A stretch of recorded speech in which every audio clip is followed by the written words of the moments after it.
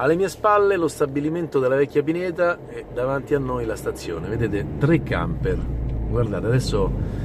vi faccio vedere questa sera un eh, diciamo problema tra virgolette perché comunque è un problema se è così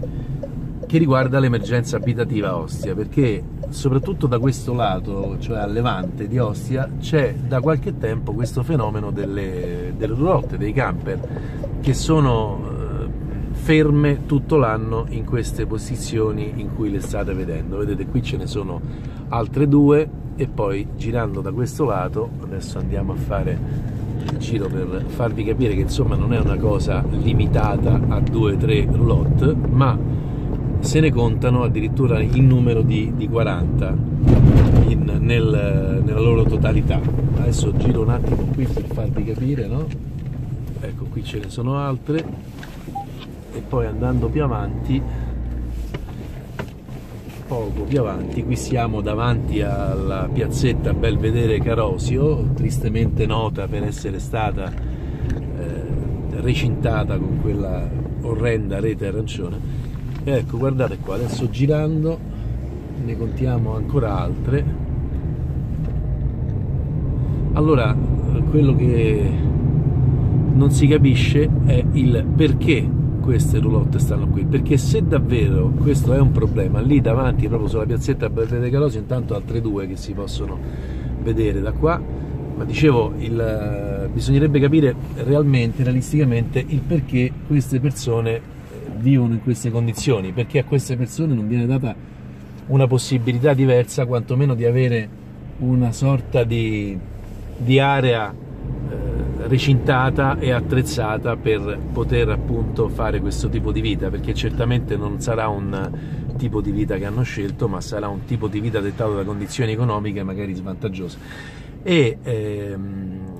quello che sorprende di più è il fatto che ci sono delle aree veramente enormi, anche andando più là, verso ancora più a levante, verso la, la, la parte del, per capirci dove sono gli stabilimenti balneari di Lungomare Vespucci, dove ci sono delle aree di parcheggio che attualmente non risultano in concessione a nessuno e che potrebbero essere utilizzate a questo fine, a questo fine cioè dare una possibilità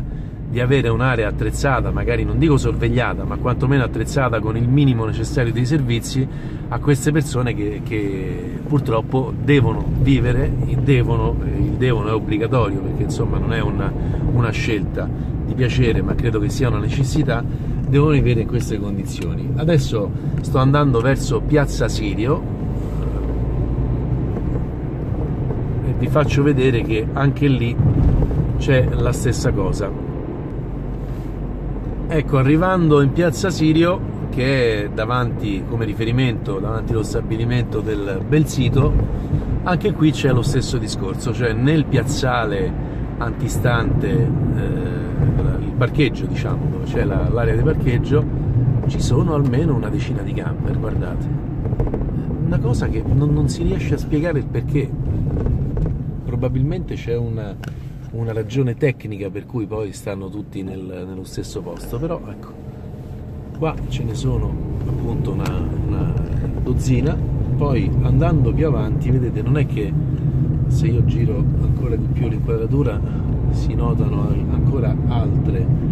vetture ferme che stanno qui pure la notte, eh, perché ieri sera poi siamo venuti a vedere e erano qui pure di notte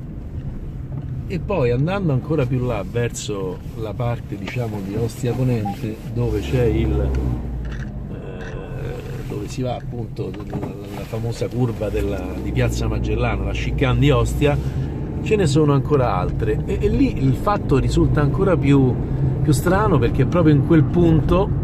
in quel punto spesso ci sono dei blocchi di polizia. Intanto qui a sinistra ce n'è un'altra e poi proprio qui dove di solito c'è il le autorità diciamo, fanno i controlli sul territorio come è giusto e lecito che, che facciano,